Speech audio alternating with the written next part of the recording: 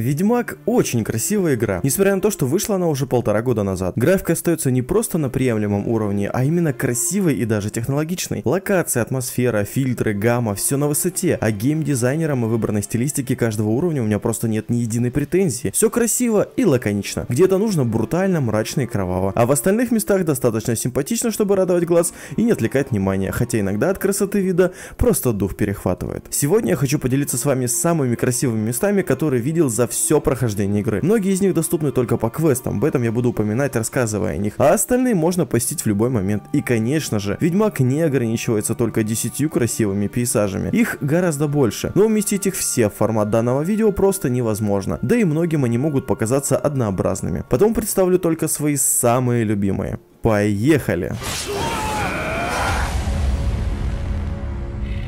Привет, ковбой, с вами Войс Ребус и просто канал об играх. Сегодня мы посетим 10 моих любимых мест в игре Ведьмак 3 и начнем с самого начала, с места, где началась новая история Белого Волка, с Белого Сада. Уже самый первый вид, которым нам дают насладиться, захватывает дух. Хотя нет, я не прав, нам не дают им насладиться. На нас тут же нападают местные гули и вынуждают вступить в сражение. А этот вид, если честно, я приметил только при прохождении новой игры Плюс. Но даже не это самое главное. Главное это двое свойственность данного места. Сейчас мы смотрим в красивую даль, на реку или озеро, обрамленное лесным массивом. То тут, то там видны деревушки, но за нашей спиной все иначе.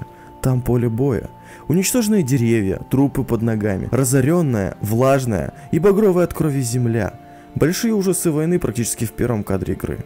Хотя именно эту бойню мы и наблюдаем во вступительном ролике. Даже топи Велина после этого меня не так сильно смущают. Хотя есть на топях одно жутко красивое место. С ним еще связано два сайт-квеста. И место это называется Коломница. Первый квест связан с Кирой Мец и вот этой ужасной башней. От нее так и пышет проклятием, страхом и смертью. Но несмотря на то, что это просто башенка, от нее невозможно оторвать взгляд. Она впечатляла еще при первом своем виде. Ты шел в нее и понимал, что внутри тебя ждет жесть. Не менее впечатляющей частью Коломницы является древний курган с могилами потомков и местом древнего языческого обряда Дзяды. Именно здесь я тестировал билд на бомбера, хотя само по себе оно не очень страшное или жуткое, но находясь тут испытываешь некий благоговенный трепет. Но хватит уже этих жутковатеньких мест, давайте взглянем на самый большой город, который нам повстречается за игру. Город-государства Новиград. Он выглядит величественно, особенно со стороны. Большой, самостоятельный, самобытный, стоит вдалеке от войны и прочих внешних внешних расприй, символ непоколебимости и стремления найти лучший путь. Люблю его улочки, грязные, мощеные улочки со шлюхами и торговцами на каждом шагу и проповедниками вечного огня, у которых от зубов отскакивают одни и те же заученные слова про вечный огонь. Люблю бандитов, поджидающих тебя на каждом углу, воров и попрошая, которые зарабатывают чуть ли не больше, чем сам Геральт со своего ведьмачьего ремесла. Во всех больших городах есть своеобразный шарм. Я думаю, вы его тоже чувствовали, когда находились в нем. Но кроме шарма, такие города скрывают у некие тайны тайны.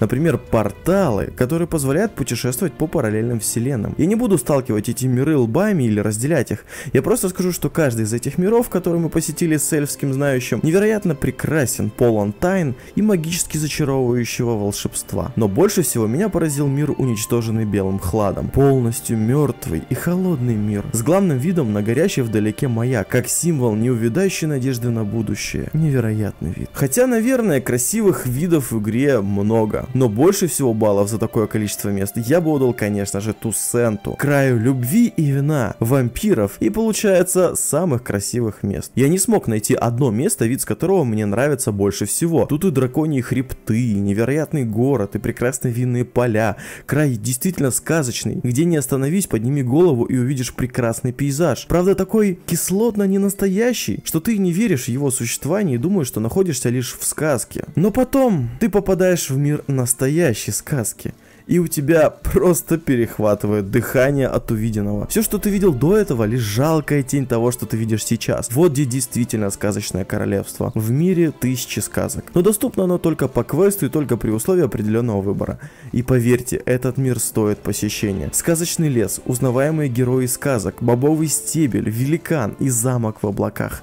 Невероятно и потрясающе. Кстати, не пропустите одну из самых красивых любовных сцен за игру. Но мир сказок это всего лишь мир сказок. И в отличие от него, пещера снов дает нам увидеть невероятное в относительно настоящем мире с небольшой примесью иллюзий и снов. Вид летающего по воздуху горбатого кита навсегда въестся в мое подсознание. Но место доступно только по квесту и позволяет встретить еще и главный страх Геральта. Кстати, где-то в Тусенте есть похожий квест, но вспомнить, что за квест я никак не могу. В любом случае, пещера снов заслуживает места в данной подборке, как самая захватывающая дух пещера из снов. Не знаю, как Геральт, но у меня бы от этой пещеры мурашки шли по коже от увиденного. С другой стороны, Геральт ведьмак, и его чувства уничтожены испытанием травами. Хотя иногда так и не скажешь. Например, здесь, на Лысой горе, после сложнейшей битвы против хозяек леса и Имлериха, проводя драгоценные минуты наедине со своей пусть и приемной, но дочерью, и просто наслаждаясь видами. Я уверен, что он в этот момент что-нибудь дочувствует. Давайте еще минутку посидим вместе с ними и насладимся прекрасным видом и атмосферой.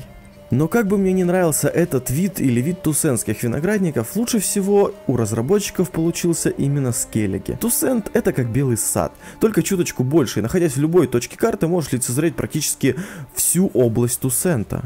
А на Скеллиге так не получится. На Скеллиге есть размах, так как единого материка нет, есть лишь несколько островов, разделенных морем. Оттого одним из моих любимых мест на Скеллиге являются маяки, которые во тьме ночной и буре страшной ведут путников и их корабли мимо скал, желающих их смерти, в родной дом с горячей едой, любящей женой и кучкой спиногрызов, жаждущих подарков. Люблю я и водную гладь, Иногда ведь нужна тишина и спокойствие. Посидеть в лодочке, глядя вдаль, окунуться в ледяную воду и подумать о герое этого видео, Николае Воробьеве. Водная гладь Скелликского моря идеально подходит для всего этого. И виды открываются потрясные, и пару контрабандистских нычек можно найти. Самым же везучим получится встретиться с китом. Настоящим китом, а не как в пещере снов. Потрясающе незабываемый вид. И это была небольшая подборка из 10 самых красивых мест в игре. Видео заслужило лайка, я подписки на канал. И как я уже упоминал, упоминал ранее, героем этого видео стал Николай Воробьев, которого можно узнать по псевдониму Эль Гарион. Прошу прощения, если ударение не там поставил, у меня с испанским не очень. Спасибо Николаю за помощь каналу, ссылка на его профиль ВК в описании. Кто хочет подтянуть свой испанский, обращайтесь. Не знаю как с испанским, но нового друга вы возможно найдете. Подробнее о том, как стать героем и помочь каналу в описании под видео. Также многим могло показаться, что графика отличается от той, что идет в оригинальной игре. И вы правы, это действительно так. Но об этом скоро в видео по модам. Напишите в комментариях комментариях, понравилось ли вам данное видео, а также какие ваши самые любимые места в Ведьмаке. Скринами этих мест можно поделиться в группе ВКонтакте в специальном альбоме. Все ссылки есть в описании. А мы увидимся в следующем видео и на этом пока. Всем пока-пока.